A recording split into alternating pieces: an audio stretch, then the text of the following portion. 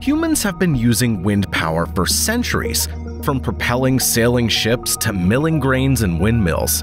Fast forward to today, modern wind turbines are a high-tech evolution of those ancient windmills. These enormous machines are designed to capture the energy of the wind and convert it into electricity. A wind turbine isn't just a fancy windmill, it's a sophisticated piece of engineering. Let's break down its key components to see how it works. At its core, a wind turbine operates on a simple principle. It converts the wind's kinetic energy into mechanical energy and ultimately into electricity. The process begins with the turbine's blades, which are designed to capture the kinetic energy of the wind. Each wind turbine is equipped with three blades positioned at the front. When the wind blows, the shape and angle of the blades cause them to spin. The blades of wind turbines are designed in a specific shape known as an airfoil. When the blade catches the wind, it cuts the air into two streams. The air passing beneath the blade faces greater resistance due to the airfoil shape, causing a decrease in speed and an increase in pressure. Conversely, the air passing over the blade faces less resistance from the airfoil shape, resulting in an increase in speed and a decrease in pressure. This variance in pressure creates lift, much like an aeroplane wing. The air beneath the blades rises, generating a force that sets the blades in motion. Turbine blades are attached to a rotor that spins together with the blades. The rotational motion is transferred to a low-speed shaft connected to the rotor. Behind the rotor is a casing called the nacelle, which houses the gearbox, generator, and control systems. The rotor is linked to the gearbox via the low-speed shaft. Inside the gearbox, there's a low-speed gear that's connected to the low-speed shaft.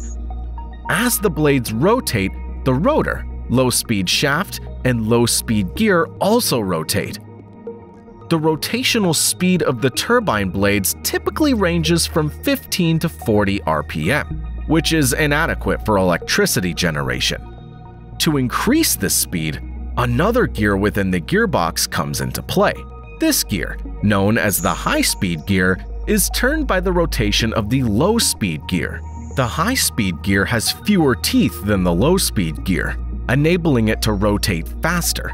It spins at a speed ranging from 1000 to 1800 RPM, effectively utilizing the 15 to 40 RPM speed of the low-speed gears.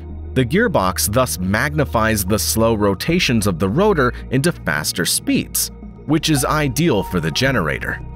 The high-speed gear's rotational motion is transferred to the generator through the high-speed shaft, the generator uses the mechanical energy produced by the high-speed shaft to generate electricity. Inside the generator, a series of magnets and conductive coils work together to produce an electrical current. The electricity generated is then transmitted to a step-up transformer through a power cable inside the turbine pole the transformer significantly increases the voltage of the electricity generated by the generator before integrating it into the power grid via cables. Wind turbines are equipped with sensors that continuously monitor wind direction and speed. These sensors send data to the controller, which uses it to adjust the turbine's orientation with the help of a motor. If the wind direction changes, the controller reorients the turbine.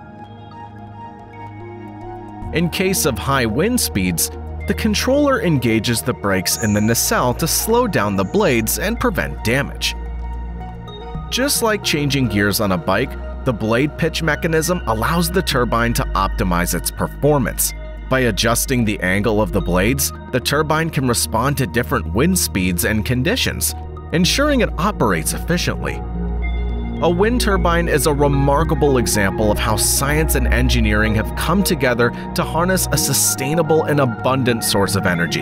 Understanding the inner workings of wind turbines not only provides insight into renewable energy technology, but also encourages an appreciation for the ingenuity behind these towering structures that quietly convert the power of the wind into clean electricity for the benefit of all.